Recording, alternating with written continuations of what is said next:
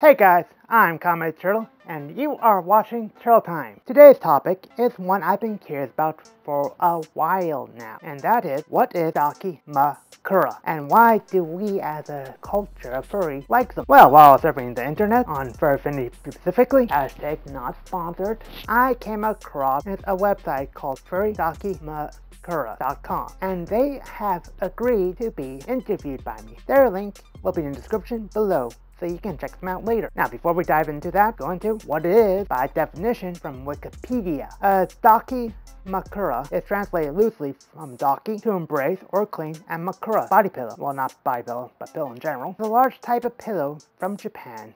The word is often translated to English as body pillow. In Japan, Dakimakura are similar to Western orthopedic body pillows and are commonly used by Japanese youth as security objects like a blanket or teddy bear. During the late 90s and 2000s, these things have been intertwined with the otaku culture. In other words, it's the otakus, weeboos, whatever you want to call them, and thought, I can't put my favorite character on a pillowcase for my pillow and then fall asleep hugging my favorite character. And it happened. Here we are today. There's also a subset of this called Love Pillows with life-size renditions of characters. Oftentimes in suggestive poses. This could be anything from anime characters, game characters, your favorite actors, or even furry characters. Not sure how I feel about that one, but that's why we're here. So let's keep the ball rolling, shall we? So I reached out to furrydakimakuras.com. Once again, not sponsored. Maybe in a future video, I don't know.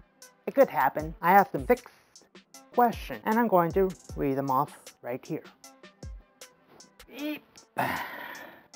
Alright, question one. What are the appeal of the Dakimakuras, or Dakis for short? They answered, it's a way for you to interact with a fictional character by having it physically there with you in bed. Mm, kind of like a Chinese fortune cookie. A means of having a cuddly intimacy with something that's imaginary and it's like a plush toy for grown-ups. It helps you feel less alone to have something to hold. I mean, they're not wrong. How many of us still fall asleep with a pillow or a stuffed animal that we sleep with on our bed? Call out in the comments below if you do. No judging. Number two. Why would someone want a daki of their character? They answer generally because they have an emotional connection with the character. It is not unusual for us to do customs of someone's boyfriend, or girlfriends OC for them. Now our biggest sellers are from franchises where people already know and love the character. Makes sense. Question 3. What are some pointers you would give to people who want to make one of their own? Their answer is follow our manual to the letter. Other than we need it, makes perfect sense. The vast majority of the customers we reject or return we get are from pillowcases that don't follow our print instruction. If you're commissioning a custom, give the artist our manual and template before they start. I mean, you don't want a, a pillowcase that has a character that is way too big for it or way too small for it. If you're super small, then you may want to simply get a design for a smaller pillow than a body pillow. Question 4. What made you decide to start this business? They answered, originally I wanted my own dog. This was supposed to synthesize my collection, but it's morphed into something larger because I wanted to help artists with products that their fans want and are difficult to pirate. Maybe unless you're a pirate character, in which case it will be easy to do it because you're commissioning a pirate, but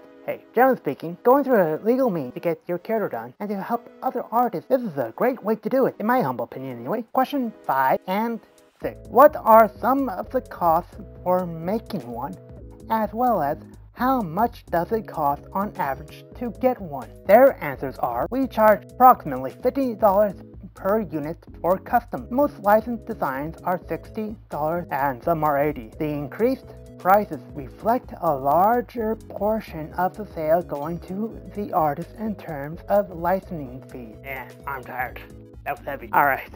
Once again, I would like to give my thanks to furrydakimakuras.com for agreeing to interview with me. And when I have the money, I plan to support them by purchasing a pillowcase of my own, maybe even do a commission of my character. Would you guys be interested in buying a case for Kame? Let me know in the comments below. Do you have any other furry merch that we buy in this fandom that you want to learn more about? Let me know. Well, if you liked what you saw and want more, subscribe to my channel if you haven't already. Hit that bell for notifications when my next video airs. Leave a like or maybe a comment. And I hope to see you all next time. Johnny. Thanks a lot for watching, guys. Click the video on screen right now to check out another one of my videos. Until next time, Johnny.